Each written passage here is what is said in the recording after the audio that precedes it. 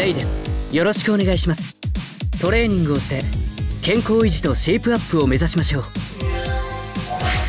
つま先膝胸が同じ方向を向くように動きましょう。下半身の引き締め効果が期待できます。太ももと床が平行になるまで腰を落とすとお尻と太ももの筋肉にしっかりと刺激を与えることができます。いろんなタイプの衣装があるのですがもう手に入れましたか？いい感じです。おめでとうございます。さあ一緒にスーパーサーキットトレーニングを始めましょう。